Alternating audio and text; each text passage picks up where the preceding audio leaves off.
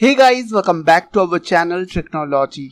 So we are back with yet another video on data conversion tool that will help you to convert OST to PST file easily. There are many users who have important emails or OST files which PST backup is always required. Thanks to Stellar Data Recovery Corporation who came up with this brilliant product is called Stellar Converter. You will find many other software in the market which is perform this conversion. The question is what makes Stellar Converter different from other softwares, right? And that is fastest conversion of OST to PST without size limitation. Also, Stellar proves that this tool perform 45% faster conversion of OST file than top of software available in the market right now. It takes approx 7 minutes to convert and extract per GB of OST data in PST format. Here the installation is pretty easy. Stellar. You have to go to this website which is stellar.com slash convert OST to pst.php. The link I will provide to my video description. After I go to this website, click on this free download button. Once you have click on this, it will download one exe file on your computer. So click on that exe file and after that click on yes. Now after a few simple steps it will install on your computer.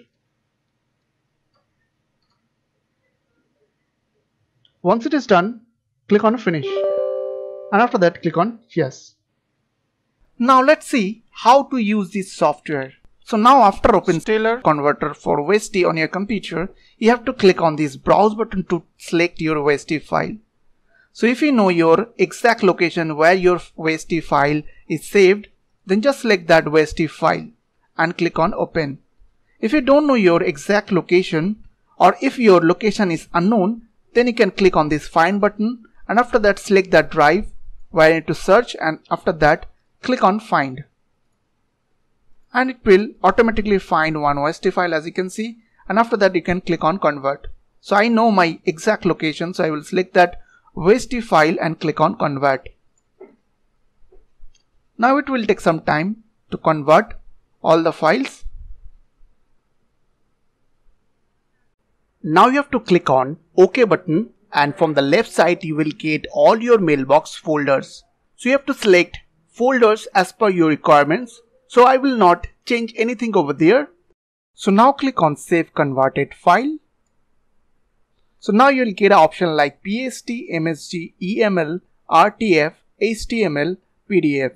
So select that format like in my case I will select here PST and after that here from here you can select like your destination path. So I will select here E drive in my case and after that click on OK. And now it's saving all the items so you have to wait for a few minutes.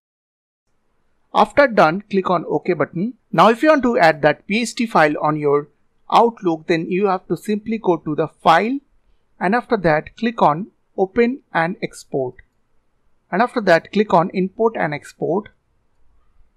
And after that from here you have to select import from another program or files.